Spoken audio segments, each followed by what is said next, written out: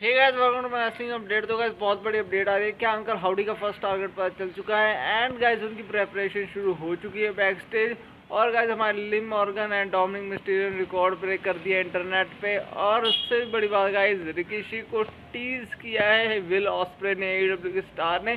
तो गाइस सभी update cover करने वाला है इसे एक वीडियो में। तो गाइस वीडियो को लास्ट देना चैनल को सब्सक्राइब कर लेना। ताकि आप कोई अपडेट मेरे चैनल पर मिस ना कर सको। तो फ़र्स्ट अपडेट जुड़ी वो जुड़ी गाइस विल ऑस्प्रे से।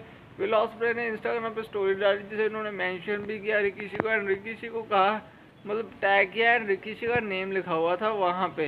एंड गाइस से ये कहा जा रहा है कि उन्हें तो लग रहा है कि रिकीशी कंफर्म आ रहे हैं ए डब्ल्यू में एंड वो छोड़ के डब्ल्यू को आएँगे एंड वो रिकीशी के साथ मैच देना चाहते हैं ये कंफर्म बात कर रहे हैं। और इसी को लेके ए डब्ल्यू के जो सी सीईओ है, उनसे पूछा गया तो उन्होंने कहा, अभी वो मेरी कंपनी में काम नहीं करता, लेकिन अगर वो आने में इंटरेस्टेड है तो मैं उसे ज़रूर साइन करूँगा। तो ये चीज़ गई यार बाकी मुझे लगता नहीं है डब्ल्यू मेरे किसी जाएँगे तो उन्हें बहुत बड़ा यार लेवल दे दिया जाएगा। आई डोंट थिंक सो दिया जाएगा बिकॉज़ जितने भी रेसलर गए हैं ए डब्ल्यू में, उनमें से कोई इक्का दुक्का रेसलर बनाए चैंपियन तो उस लेवल पर जा नहीं सकते रिकिशी बाकी रिकिशी को यार जो मौके मिल रहे हैं डब्ल्यू में, जिंदर माल से तो ज़्यादा मिल रहे हैं। ये नहीं कहा जा सकता जिंदर माल जैसी बुकिंग है, लेकिन मौके से ज़्यादा अगर फ्यूड उनकी बनाई जाए ना अभी ब्रॉन बेकर के साथ, वो नेक्स्ट लेवल फ्यूड होगी यार।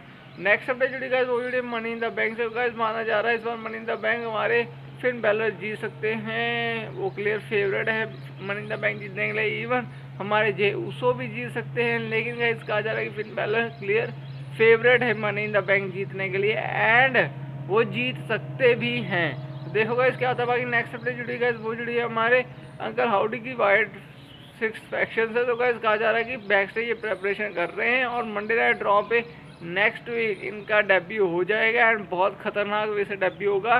और माना जा रहा है कि नेक्स्ट वे करने वाले हैं और बहुत जल्दी इनकी प्रेपरेशन ख़त्म होने वाली है। शूटिंग कर रहे हैं ताकि इनकी प्रेपरेशन ख़त्म हो बहुत जल्दी एंड देन ये रिटर्न करें और गाइस माना जा रहा है कि इनका फ़र्स्ट टारगेट जे ऊसो हो सकते हैं। ये जे ऊसो को टारगेट कर सकते हैं जे ऊसो पर अटैक कर सकते हैं because of reason Jey Uso Bray Wyatt वाली चीज़ यूज़ कर रहे हैं लाइटिंग वाली वही चीज़ यूज़ कर रहे हैं। तो माना जा रहा है ये चीज़ हो सकती है एंड ये अटैक कर सकते हैं। ब्रे वाइट की तरह मतलब हमारे जे उसो बैन जे उसो इनका फ़र्स्ट टारगेट बन सकते नेक्स्ट अपडेट जड़ी वो जड़ी गई स्कॉटलैंड हमारे ग्लासको से वहाँ पे अभी तक कोई स्टेज नहीं बना, कुछ नहीं बना। जहाँ पे रेसलिंग शो होना वहाँ पे।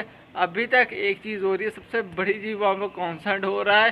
डब्ल्यू इतना कुछ नहीं करेगी बस एक स्टेज बना देगी छोटा सा एंड देन रिंग क्रिएट कर देगी एंड यही चीज़ होगी डब्ल्यू की एंड गाइज़ माना जा रहा है कि जो ड्रू में अटायर है, वो फ़र्स्ट स्कॉटिश वॉरियर्स हॉलर फेवर बन चुके हैं। फ़र्स्ट स्कॉटिश मतलब टॉप के रेसलर बन चुके हैं, उस पर तो सी एम पंक ने भी तारीफ़ की है उनकी एंड ड्रू मैटा ने ये अपनी कंट्री के लिए क्या है उन्हें बनाया गया है इस चीज़ के लिए। तो हमारी नेक्स्ट अपडेट जुड़ी है, वो जुड़ी हुई है हमारे प्रेस कॉन्फ्रेंस है तो क्या रसल वोट्स ने कहा है, ऐसा कुछ नहीं है प्रेस कॉन्फ्रेंस में कोई चेंज नहीं होने वाला है, कुछ नहीं बदलने वाला है प्रेस कॉन्फ्रेंस सेम रहने वाली है एंड प्रेस कॉन्फ्रेंस सेम तरीके से होने वाली है डब्ल्यू में। और गाइज़ आपको प्रेस कॉन्फ्रेंस देखने को मिलेगी। नेक्स्ट अपडेट जुड़ी वो जुड़ी है Liv Morgan and Dominik Mysterio से। तो guys Liv Morgan Dominik Mysterio का जो चक्कर चल रहा है, उसने नेट को बर्स्ट कर दिया है। सबसे ज़्यादा व्यूज़ उठा रही है मिलियंस में व्यूज़ जा रहे हैं। इंस्टाग्राम यूट्यूब ट्विटर तीनों जगह पर झंडे गाड़ रहे हैं। बिकॉज़ ऑफ़ रीज़न की स्टोरी लाइन इस लेवल तक खतरनाक चली गई है, वो नेक्स्ट लेवल तक जा चुकी है। तो गाइज़ ये चीज़ें हो रही हैं डब्ल्यू में। बाकी गाइज़ मंडे नाइट ड्रॉ में इन्होंने झंडे गाड़े हुए हैं। तो गाइज़ ये अपडेट अगर वीडियो अच्छी लगे चैनल को सब्सक्राइब वीडियो को लाइक करना। Thank you so much